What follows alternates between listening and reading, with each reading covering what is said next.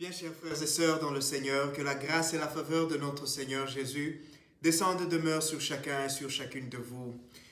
Je continue de dire merci à vous tous et vous toutes qui continuez de partager nos vidéos, vous tous qui et vous toutes qui vous abonnez à cette chaîne, vous qui donnez à cette chaîne la vie qu'elle a aujourd'hui, la croissance qu'elle est en train d'enregistrer. merci de continuer de liker, merci de continuer de mettre un gros pouce à nos vidéos et de continuer de les partager.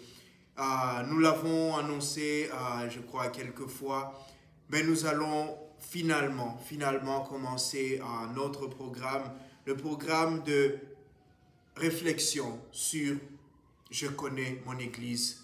Ce sont des petites réflexions sur qu'est-ce que l'Église, sur les questions que les uns et les autres posent souvent. Et ces vidéos, nous les aurons tous les vendredis avec la grâce de Dieu.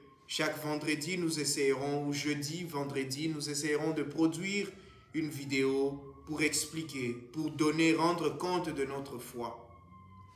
Merci pour les questions que vous m'envoyez. Soyez-en sûrs, je les note quelque part et petit à petit, on continue à y réfléchir et à vous donner ce que le Seigneur nous inspire. Aujourd'hui, nous célébrons la transfiguration de notre Seigneur. Nous célébrons ce jour où Jésus a redonné l'espérance à ses disciples. Le jour où Jésus a montré à ses disciples que leur foi n'est pas vaine, le jour qu'il leur a montré que la communauté d'amour qu'ils forment, c'est une communauté qui est partie pour durer. Et l'évangile d'aujourd'hui a cette manière merveilleuse de commencer six jours après. Pour ceux qui sont amoureux de, cinéma ou de films, lorsque on met cette expression quelque temps après, un an après. Ça veut dire que ce qu'on va regarder dans le film sera une conséquence de ce qui s'est passé avant ce temps. Et aujourd'hui, six jours après, six jours après quoi Nous savons que avant ces six jours-là, il y a eu quelque chose. Jésus entrait à Césarée de Philippe et il demandait à ses disciples pour les hommes, Amin, qu'est-ce que les autres disent que je suis? Et les disciples ont répondu. Et puis il demande à ses propres apôtres, aux disciples, pour vous, qui suis-je? Que dites-vous? Et Pierre a cette belle réponse, tu es le Messie, le Fils de Dieu. Et Jésus félicite Pierre, il lui rappelle que cela lui est venu de son Père, du Père de Dieu qui a inspiré Pierre. Et Jésus dit à Pierre, tu es Pierre, et sur cette pierre je bâtirai mon église. Et les forces de l'enfer n'auront pas d'emprise sur elle, ne prévaleront pas sur elle. Et tout de suite, Jésus dit à ses disciples qu'il va souffrir dans les mains des anciens et des scribes et des pharisiens, qu'il va être torturé, qu'il va mourir et que le troisième jour, il va ressusciter. Et voilà quelqu'un qui vient d'annoncer qu'il a un grand projet, qu'il a quelque chose de grand à créer, que Pierre est la fondation sur laquelle va reposer l'Église, l'édifice, dit qu'il va mourir. Et, il y a, les disciples, ils sont confus. Comme vous et moi, si nous étions là-bas, il y a quelqu'un qui vous dit, voilà, nous allons commencer un projet. Et tout de suite, il vous dit, mais euh, là où nous allons, je vais mourir. Et Pierre, il prend Jésus à côté et lui dit, écoute, faut plus raconter des histoires comme ça. Tu viens de dire que nous allons faire un projet. Nous avons un grand projet. Tu vas, tu vas aller, tu vas, le, royaume, tu vas reconquérir le royaume. Et puis des affaires de mourir. Non, non, non. Personne ne va mourir. Tout le monde sera bien. Dieu est grand. Dieu va t'épargner. Dieu va te sauver. Et nous savons la réaction de Jésus. Et, et c'est tout ça qui crée la confusion. Et les apôtres se disent, mais si il va mourir, pourquoi, pourquoi est-ce que même nous le suivons? C'est quoi le but de tout cet engagement? Pourquoi nous marchons derrière cet homme? Et s'il meurt, qu'adviendra-t-il de nous? Est-ce que nous aussi, on ne va pas nous tuer? Est-ce que nous aussi, on ne va pas dire que nous étions complices et ça va, ça va mal finir pour nous? Donc, les apôtres ne comprennent pas beaucoup. Ils, sont confondus, ils sont confus.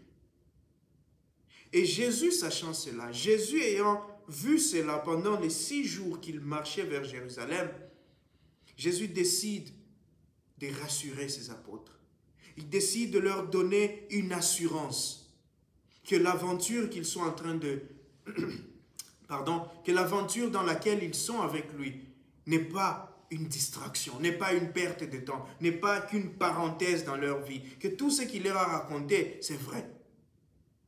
Parce que je me dis qu'il pensait aussi, il dit l'histoire des résurrections, c'est quoi cette affaire? Et c'est comme ça que Jésus prend Pierre, Jacques et Jean, il les amène à la montagne. En fait, Jésus voulait leur montrer trois choses qu'il veut nous montrer à nous aussi aujourd'hui. Un, que notre foi n'est pas vaine. L'expérience de la transfiguration a convaincu Pierre, Jacques et Jean qui seront la, fondation de l'Église, le disciple bien-aimé et le premier pasteur de Jérusalem, le premier évêque de Jérusalem. Donc ils étaient ceux, ces trois piliers-là, sur lesquels allait reposer cette Église naissante, en plus des autres apôtres. Mais ces trois-là, Jésus voulait qu'ils voient pour qu'après ils puissent témoigner, qu'ils sachent que leur foi n'était pas vaine que cette démarche-là de confiance en Jésus n'est pas vaine. Et aujourd'hui, Jésus veut nous dire cela.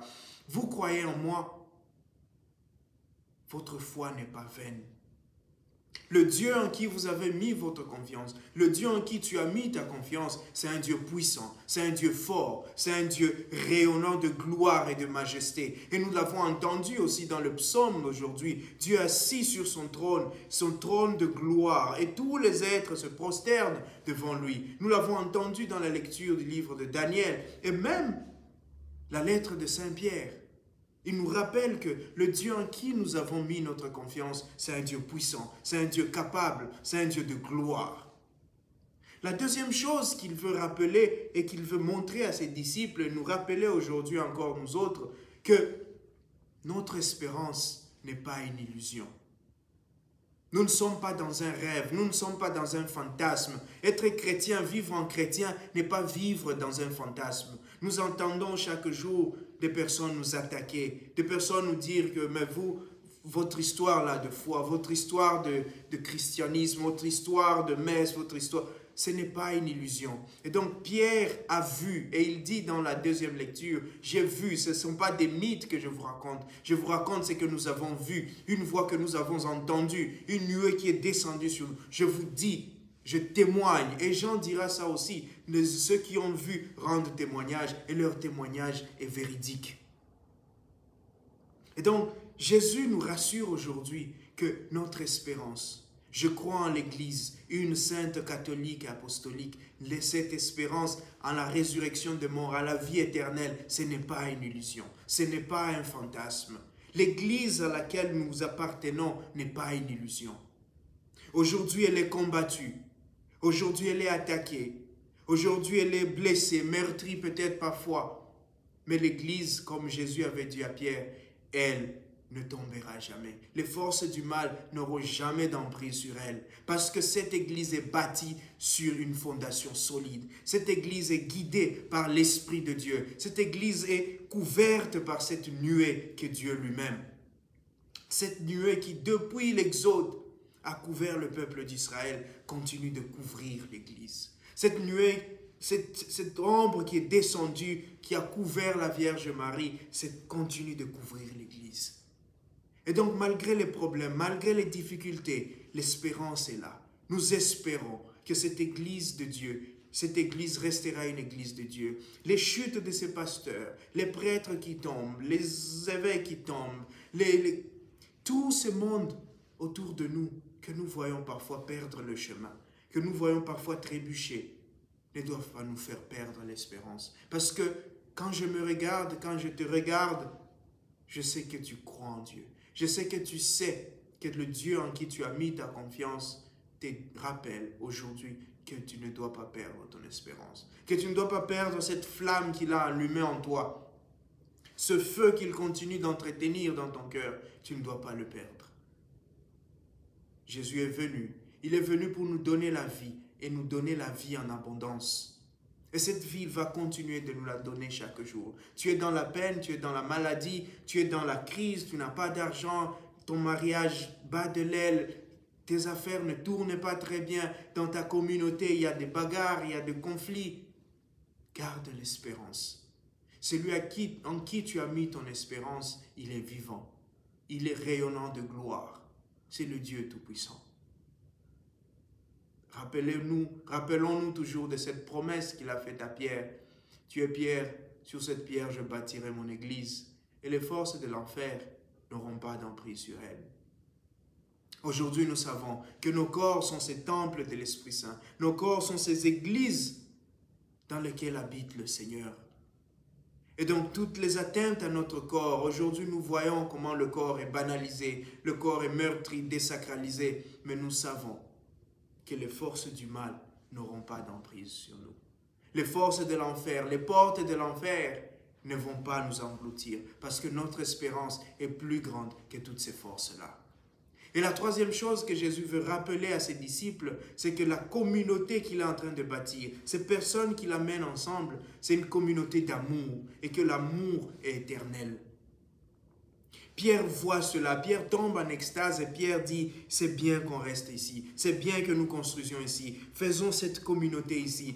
Pierre a senti cet amour là-bas, il a senti cette puissance, cette force qui met les gens ensemble, qui les liait qui lit l'Ancien Testament, le Nouveau Testament, les prophètes, et tout le monde est ensemble. Élie et Moïse, ils sont là. La loi et les prophètes ensemble. La nuée et tout. Pierre a senti, Jean a senti, Jacques a senti la puissance de cette communauté d'amour. Et Jésus leur dit, cette communauté-là, elle va vivre. La passion, la souffrance, la mort, ne sera pas assez forte pour diviser cette communauté. Parce que cette communauté est bâtie sur l'amour. Et l'amour, c'est Dieu lui-même. Et l'amour est éternel. Et donc aujourd'hui, Dieu nous rappelle encore, Jésus nous rappelle encore que notre communauté, l'Église, qui est cette communauté, elle est bâtie sur l'amour. Elle n'est pas bâtie sur une race. Elle n'est pas bâtie sur une tribu, un clan, une appartenance politique, un rang social. L'Église est bâtie sur l'amour. L'amour que nous recevons chaque jour de Dieu et l'amour que nous devons donner. Et Dieu, dans la nuée, quand il descend, il dit, celui-ci, il est mon fils bien-aimé. Il est le fils en qui j'ai mis la plénitude de mon amour. Il est en train de vous transmettre cet amour qu'il a reçu de moi. Et donc par cet amour, nous tous, nous devenons un peuple, le peuple de Dieu, le peuple en marche vers sa destinée. Et alors, quand Jésus, quand les disciples voient cela, Jésus leur dit, gardez silence. Vous avez vu, vous savez maintenant en qui vous avez mis votre espérance. Vous savez maintenant en qui vous croyez. Vous savez maintenant pourquoi ce groupe existe, pourquoi ce groupe restera pour toujours. Et lorsque ces apôtres descendent de la montagne, après la résurrection de Jésus, ils peuvent témoigner. Et aujourd'hui, c'est à nous de témoigner. Nous avons reçu cette chance. Je ne sais pas si, catholiques qui nous sommes, nous réalisons la grâce que nous avons. La transfiguration que Jean-Jacques et, euh, Jean-Jacques et Pierre ont vécu sur cette montagne. Nous, nous la vivons chaque jour dans l'Eucharistie. Nous voyons Jésus se transfigurer. Nous voyons ce pain, ce vin devenir le corps et les sang. Nous voyons cette gloire du Seigneur chaque jour. Chaque jour, nous sommes participants de cela. Je ne sais pas si nous, nous avons plein conscience de cette grâce que nous avons. Élie, Moïse, les anges, la cour céleste, chaque jour, nous sommes dans cette parfaite communion. Et donc chaque jour, nous sommes envoyés. C'est pourquoi à la fin de chaque Eucharistie, on dit, allez, allez dans la paix du Christ, allez proclamer cette paix, allez faire sentir au monde cette joie que vous ressentez, cette paix que vous avez ressentie, cette assurance, allez la transmettre au monde, allez la donner à vos familles, allez la donner à vos frères et sœurs, allez la donner à ceux qui souffrent. Jésus nous dit aujourd'hui, allez dire au monde Allez dire à tous ceux qui sont dans une peine indescriptible que leur foi en moi ne sera pas une foi vaine, qu'ils n'ont pas tort de croire en moi. Allez leur dire que leur espérance n'est pas une illusion. Allez leur dire qu'ils appartiennent à une famille bâtie sur l'amour et que l'amour triomphe toujours. Aujourd'hui, chers frères et sœurs, allons dire cela au monde. Soyons Jacques, Soyons Jean, soyons Pierre. Nous faisons l'expérience de la transfiguration. soyons des témoins de la transfiguration. Jésus est ressuscité et donc nous sommes en mission. Nous sommes des envoyés. Que le Seigneur nous donne cette grâce, qu'il nous donne le courage et la force d'aller annoncer dans un monde si meurtri, dans un monde si divisé, dans un monde où les gens perdent espérance, dans un monde où le péché semble gagner, où les portes de l'enfer semblent tout engloutir. Allons dire que notre foi n'est pas vaine, que notre espérance n'est pas illusoire et que notre communauté, c'est une communauté d'amour. Et que l'amour, à la fin de toutes choses, l'amour sera toujours là. L'amour vaincra. Et donc notre Seigneur, il sera vainqueur. Que le Seigneur vous bénisse et qu'il vous donne cette grâce d'être transfiguré pour qu'à votre tour, vous puissiez transfigurer le monde. Amen.